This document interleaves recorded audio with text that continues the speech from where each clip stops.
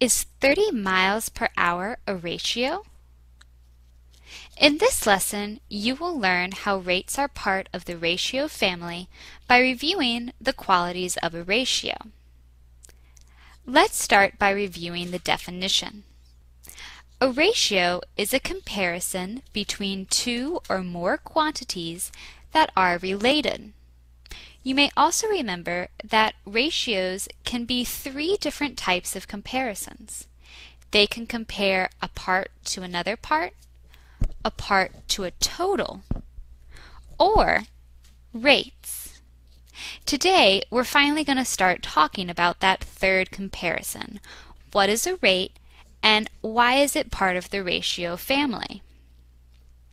So a common mistake is when you focus on just comparing two or more quantities as the definition of a ratio, you may see a rate such as 3 miles per 2 hours, and you may see a ratio such as 3 boys to 2 girls.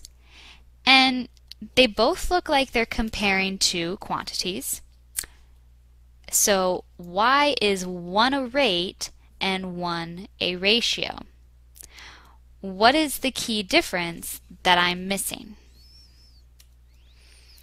To look at that and to examine why a rate is different than a ratio, let's try and think of some common rates. Maybe you know of one that deals with speed.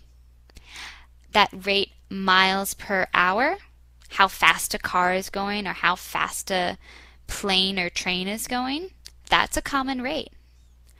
Or maybe you recently saw a commercial for a new car on television and they talked about their miles per gallon.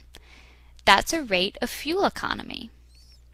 Or maybe you help do the grocery shopping in your house and you know that produce and deli meats are given a price per pound. All of these are common rates. And you may notice miles per gallon, price per pound, miles per hour, that what makes a rate special is that a rate is a ratio that compares two or more quantities of different measures.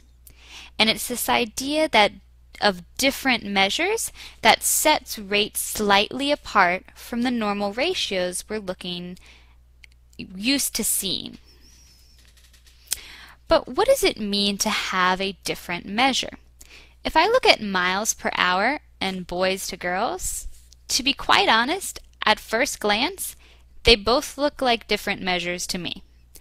Miles are different than hours. Boys are definitely different from girls. So why is one considered a rate and the other considered a ratio? Now, the definition talked about different measures. So let's look at what each category measures. A mile measures distance. Hours measure time. But when we get to boys to girls, a boy is simply a category of gender, and so is a girl. So we can see, once we've broken down what's actually being measured, that the rate miles per hour is measuring something different. Distance is different from time. Whereas boys to girls, while the categories seem different, they're not different measures. They're both measures of gender. Another difference you might have noticed between rates and our standard ratios is this word per. Three miles per two hours. Now, per is a perfectly fine word all on its own, but in order to really understand what it means, I like to think of per or read per as for every. So in my mind, three miles per two hours, I would rephrase I traveled three miles for every two hours that passed, or for every three miles traveled, it took two hours. Or for every two hours that passed, I traveled three miles. And each one for every takes the place of per. I think it has a more illustrative meaning. I can see that the constant pattern of this rate, which is why it's part of the ratio family in the first place. And what I'm talking about with that constant pattern is that idea of 3 miles per 2 hours does not just mean one set of 2 hours and one set of 3 miles. I could double that. It could be 6 miles per 4 hours or 9 miles per three, 6 hours. It's that idea that the rate is constant, and rates, like ratios, have a constant pattern. That's what makes them part of the ratio family in the first place.